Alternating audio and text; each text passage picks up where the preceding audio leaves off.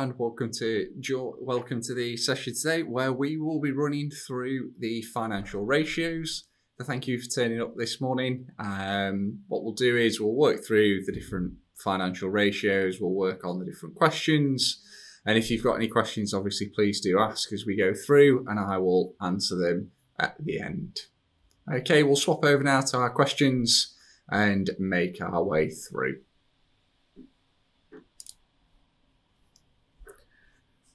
So task one then, Irvine Limited had revenue for the year ended the 31st of December 2013, we'll go with, of 1,540,000. Its cost of sales for the same period were 635,000 and other operating expenses were 742,000. The total equity of the business was 3.4 million and non-current liabilities were 288,000. Calculate to two decimal places the following ratios. We've got gross profit percentage, operating profit percentage, and return on capital employed.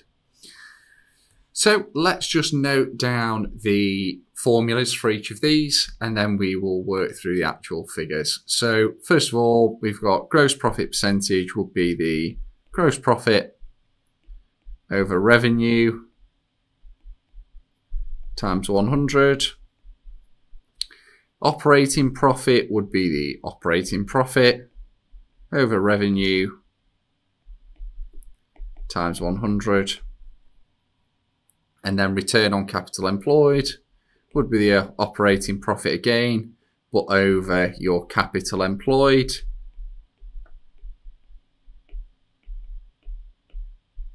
which is made up of your equity plus non-current liabilities.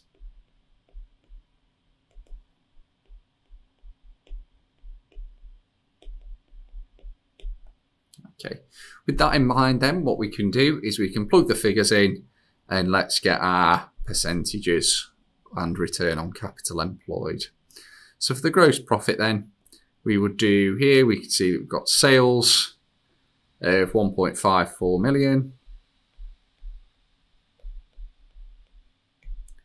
Less cost of sales, 635,000. Okay, that gives us a gross our gross profit figure. So let's just calculate that now. So that gives us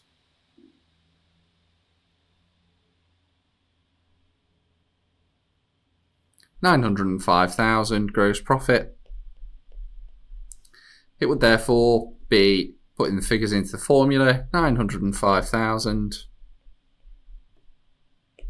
over the revenue 1.54 million times 100 to give us 58.77. So we can enter that in.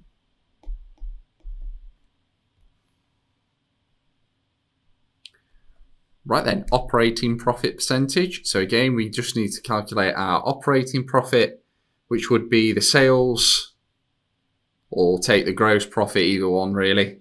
Take the gross profit might be easier, so 905,000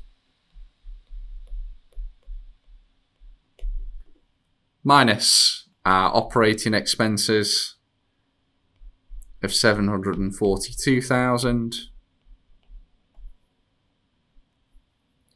gives us an operating profit of 163,000. Okay, so it will be the operating profit over revenue 1.54 million times 100 would give us an operating profit percentage of 10.58. And then lastly, for the return on capital employed, it would be again the operating profit, which we now know is 163,000, divided by our capital em employed, which I've said is the equity plus the non-current liabilities. So it would be therefore 3,688,000 times 100 to give us a return on capital employed of 4.42.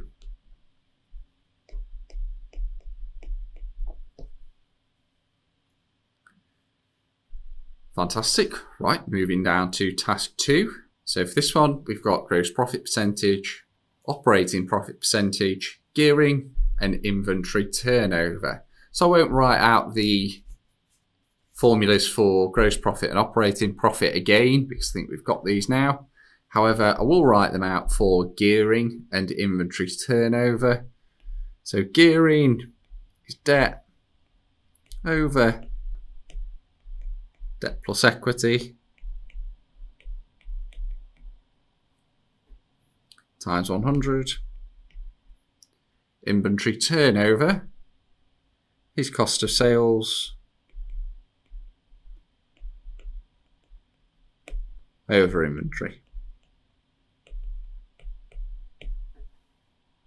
So with that in mind, let's calculate each of these and input the figures. So the first one would be the gross profit percentage. So take our sales, less cost of sales, to get the gross profit.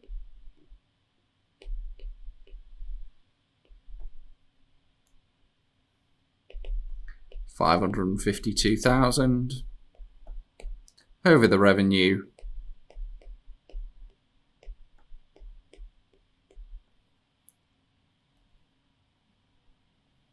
To give us a gross profit of 44.16. Then for operating profit, we take our gross profit again. So 552 less. The other operating expenses of 312,000.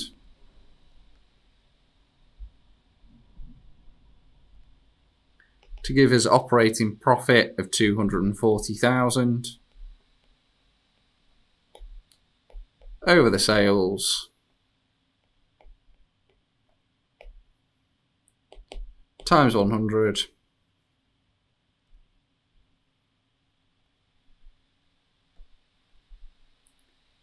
gives us an operating profit of 19.20.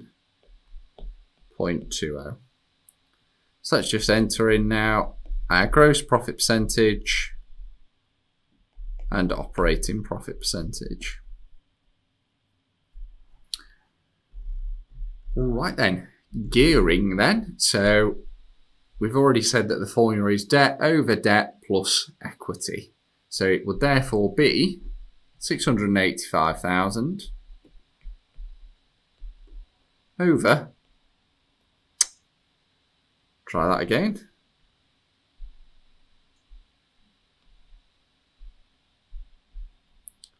Over. Debt plus equity, so over 685 plus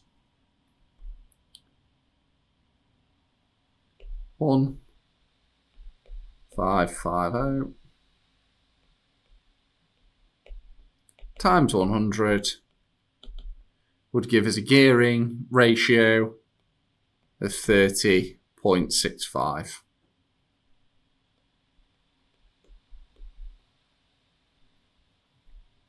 Now the inventory turnover, a nice simple one, cost of sales over in inventory would therefore be 698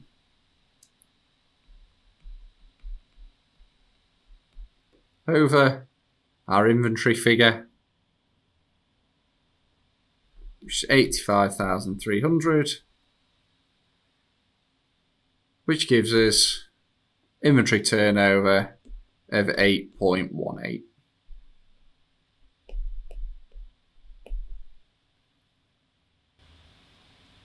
Fantastic. Right. Okay. Hopefully nothing too complex there. So we can now move on to task three. The most recent statement of profit or loss. Hi there, and thank you for watching the video.